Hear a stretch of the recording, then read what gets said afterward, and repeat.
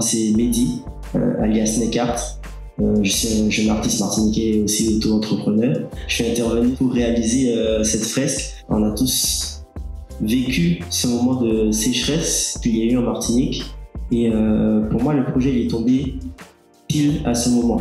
On m'a donné le thème de l'eau et je me suis posé comme question qu'est-ce que je ressens aujourd'hui euh, quand on me parle d'eau?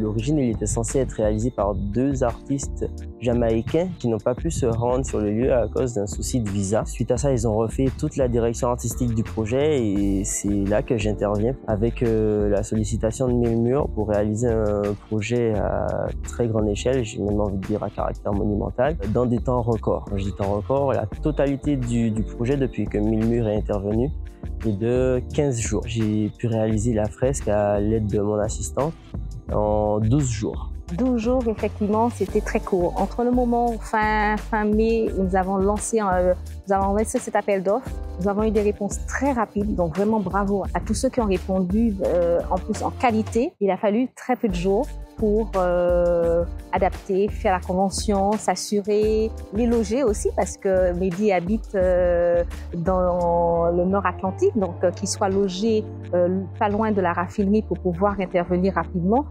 Et puis on avait déjà commencé la saison cyclonique, donc vraiment faire en sorte de pouvoir euh, travailler autant que possible euh, quand il n'y avait pas de pluie. L'objectif, c'était que le 17, on descende d'échafaudage parce que le risque était trop grand euh, avec l'ouverture de la période cyclonique. Donc vraiment une gestion de projet très fine, avec une petite équipe très agile et donc, donc beaucoup d'engagement et euh, avec une volonté effectivement de réussir euh, euh, dans les meilleurs délais et sans accident.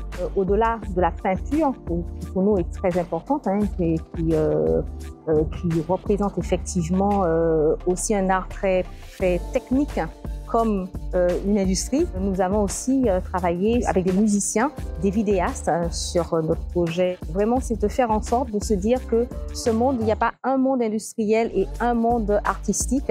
Euh, ces, mondes-là peuvent se rejoindre pour pouvoir euh, montrer les talents que nous avons euh, sur nos territoires. Je remercie surtout la, Sarah, du coup, qui est une entreprise qui, fait confiance aux artistes. Et je ne suis pas le premier à avoir fait une fresque à la Sarah, et je ne pense pas être le dernier. Et c'est un bel exemple qu'il montre aux, autres entreprises et à toute la Martinique.